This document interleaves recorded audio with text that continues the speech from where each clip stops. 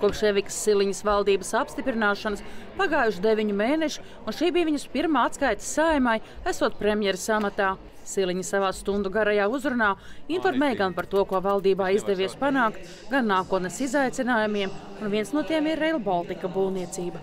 Rail Baltica projekta pašplūsma ir beigusies. Man ir pilnīgi skaidrs, ka valdība nebūs tā iestāde, kur vienkārši var iesniegt rēķinus un viņus valdība bez ierunām atmaksās. Mēs gribēsim saprast, kā radās šādi izdevumi, kas viņus ir sankcionējis, kas ir uzņēmies šīs saistības, jo ja tā nav valdība, tad kurš tas ir? Par Rail Baltica samilzušajām problēmām runāja arī opozīcijas deputāti, kur norādīja, ka ar esošo finansējumu modeli nepietiek. Ir ļoti liels darbs jāiegulda, lai saprastu, kā šāda līmeņa projektu finansēt turpmāk. Tāpat izskanēja pamudinājumi prasīt atbildību arī no pašreizējā satiksmes ministra Kaspara Briškena.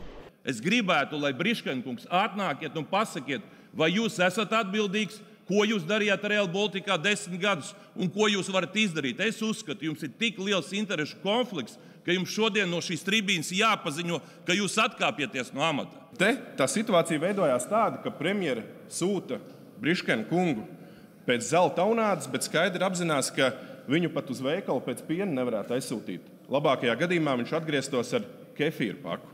Es nekad neesmu slēpies no krīzēm, es nekad neesmu vēlējies viņas paslaucīt zem tepiņa. Es par tām runāju atklāti un galvenais mēģinu tām meklēt risinājumus. Progresīvie savu ministra aizstāvībai uzsver, ka pēdējos piecos gados par Rail Baltica neviens nesot līdzies nezinis, un tagadējais satiksmes ministrs vismaz risinot šī projekta politiskās problēmas. Ja kādam no jums ir labāki risinājumi, tad nāciet uz tribīnes un tos pasakiet. Nevis runājiet par to, kādi visi ir nulles.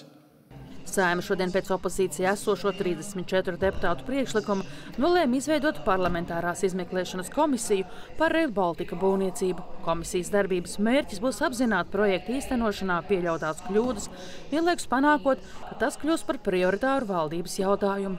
Lai lēmumi tiktu pieņemti caurredzami un saulaicīgi, kā arī ievērojot valsts un sabiedrības intereses, ietekmes Latvijas tautsēmniecību un valsts budžetu. Madara Līcietīngus Graudiņš, Latvijas televīzija.